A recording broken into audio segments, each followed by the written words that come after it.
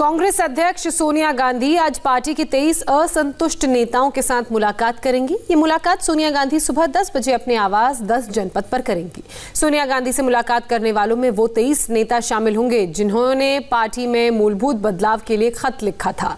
इस मीटिंग में कांग्रेस के सीनियर नेता गुलाम नबी आज़ाद, आनंद शर्मा, भूपेंद्र सिंह हुड्डा, पृथ्वीराज चौहान तो होंगे ही। साथ ही साथ P Chidambaram Ashok Gehlot, Kamalnath K C Venugopal और पवन कुमार बंसल भी शामिल होंगे। जिन्हें इस मीटिंग में जगह मिलेगी, उन्हें बुलाया गया है। कांग्रेस सूत्रों का कहना है कि सोनिया गांधी से कुछ ऐसे नेता भी मिल सकते हैं, जो लंबे वक्त से पार्टी से नाराज़ चल रहे हैं।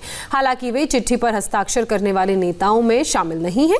सूत्रों का कहना है कि इन नेताओं को सोनिया गांधी मिलेंगी और जो मुलाकात होगी, मुलाकात के बाद सुलह की गुंजाइश बढ़ सकती है। अगस्त महीने में गुलाम नबी आज़ाद, आनंद शर्मा और कपिल सिब्बल समेत कांग्रेस के तेईस नेताओं ने सोनिया गांधी को एक पत्र लिखकर पार्टी के लिए सक्रिय अध्यक्ष होने और व्यापक संगठनात्मक बदलाव करने की मांग की थी। इसे कांग्रेस के कई नेताओं ने पार्टी नेतृत्व और खासकर गांधी परिवार को चुनौती दिए जाने के तौर पर लिया।